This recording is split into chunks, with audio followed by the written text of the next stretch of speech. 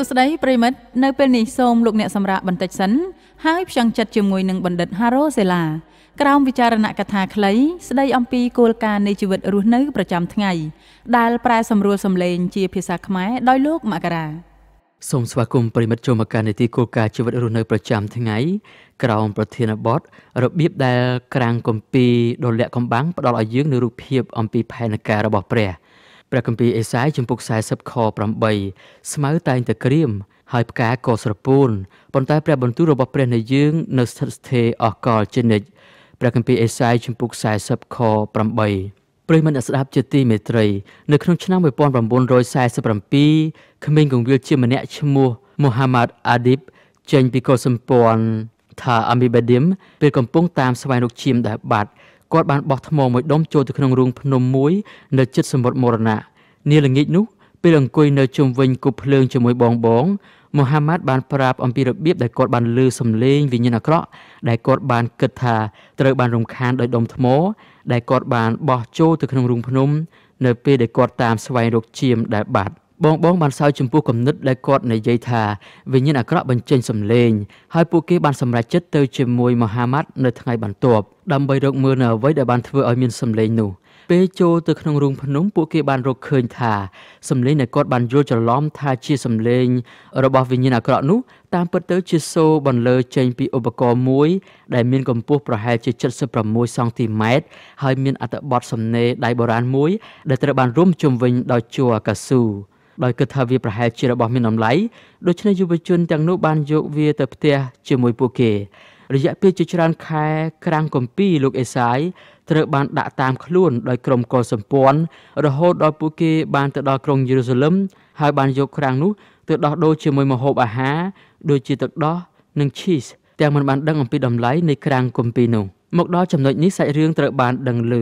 លោក Kendu ដែលជាអ្នកជំនួញនៅ Bethlehem បានដឹងថា ការមានក្រាំងបុរាណនេះនៅក្នុងដៃរបស់គាត់គឺជាបទល្មើសនឹងច្បាប់យ៉ូដាន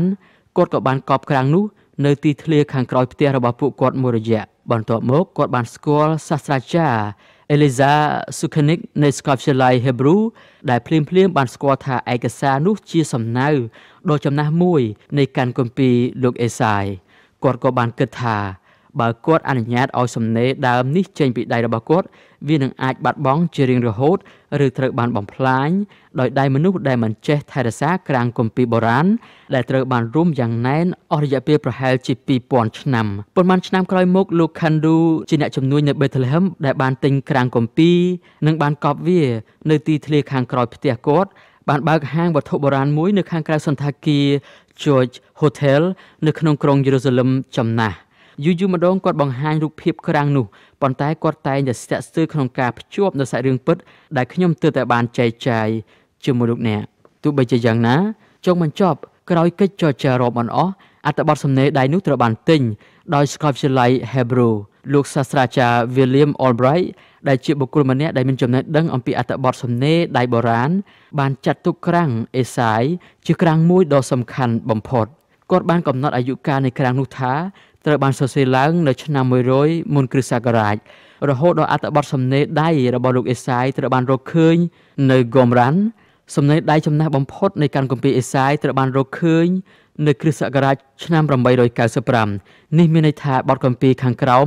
ដែលលោកអេសាយបានសរសេរថាត្បិតមានបុត្រមួយកើតដល់យើងព្រះទ្រង់ប្រទានបុត្រាមួយមកយើងហើយព្រះគម្ពីរអេសាយជំពូក9ខ6 មានអាយុកាលជាង1000ឆ្នាំ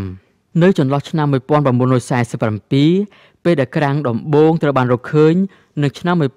1954ដែលមានក្រាំងយ៉ាងហោចណាស់ចំនួន800ត្រូវបានរកឃើញ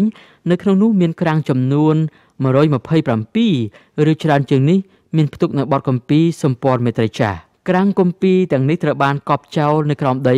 ហើយត្រូវបានកាយចេញ បែបវិទ្យាសាស្ត្រដោយអ្នកជំនាញ ដោយសារតែភាពត្រឹមត្រូវនៃបទកម្ពីទាំងនេះវាបានធ្វើឲ្យមនុស្សជាច្រើនងឿងឆ្ងល់អំពីភាពត្រឹមត្រូវនេះសម្រាប់អ្នកជឿយើងដឹងថានេះគឺជាការធ្វើការរបស់ព្រះជាម្ចាស់ផ្ទាល់វាប្រៀបបីដូចជាព្រះកំពុងតែមានព្រះបន្ទូលម្ដងទៀតអំពីអ្វីដែលលោកអេសាយបានសរសេរជាច្រើនឆ្នាំមុនថា ស្មៅតែងតែក្រៀមហើយផ្កាក៏ស្រពោនប៉ុន្តែព្រះបន្ទូលរបស់ព្រះនៃយើង នៅស្ថិតស្ថេរអស់កលជានិច្ចព្រះគម្ពីរអេសាយជំពូក40ខ8 គ្មានការគម្ពីរសម្ព័ន្ធមេត្រីចាស់ណាមួយ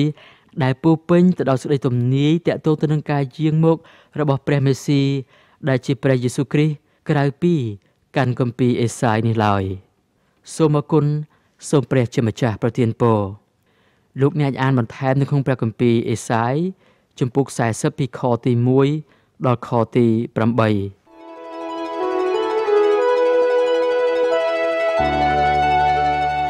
អំបញ្ញមិញនេះប្រិយមិត្តទើបតែបានស្ដាប់និងលើកទឹកចិត្តពីបណ្ឌិតហារ៉ូសេឡា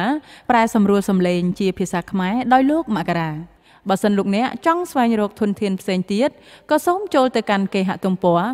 www.guidelines.org ហើយយើងខ្ញុំក៏ចង់លើពីប្រិយមិត្តផងដែរដោយគ្រាន់តែផ្ញើអ៊ីមែលតាមអាសយដ្ឋាន info@guidelines.org